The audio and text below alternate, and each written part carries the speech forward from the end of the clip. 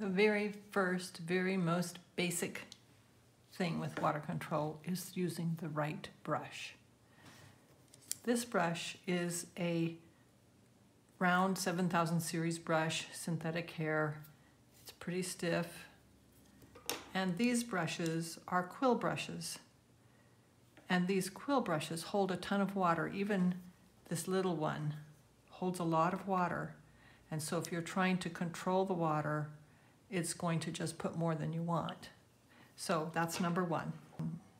Number two in controlling the water is how much water you allow to stay on your brush. If you have this much water, it's dripping. If you have this much, it's still pretty wet, but not dripping. If you wipe it on your cellulose sponge, that soaks up quite a bit, and now it's dry enough it's bending a bit. And then if you really want it dry, you can do this or wipe it on a tissue. Now, if you want more control, then you're going, going to want a brush that isn't a quill brush and a just a basic round brush works very well. I'm going to paint this rose hip with wet, a wet brush, but not drippy wet, on dry paper. A little bit of blue to get a darker area right here. Maybe I should have made it a little bit of green.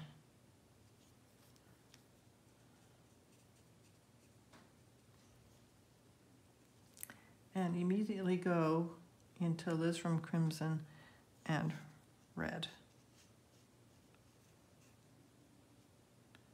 Behind this, there's a darker area. And then up here, it actually gets oranger. See, I'm moving a little bit quickly. I want to move to the next spot before it dries so that it blends without leaving a sharp line. And if you do get a sharp line, then you, you have to agitate a little bit. And then there's this blur here.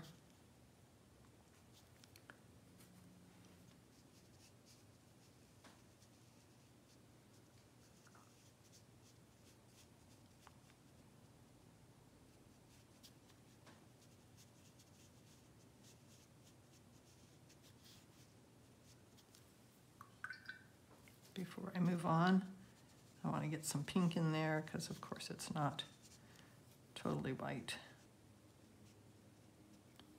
Now I want to lift some paint. So I'm drying my brush really well. I'm, I'm squeezing it with my finger into the sponge and I'm gonna just go in a circle on top of that, get it wet again, and get that little shiny spot back. And because it's damp around it, it's spreading out. These are the most basic ways you control water when you're painting. I hope you found this helpful, and if you did, please subscribe and like.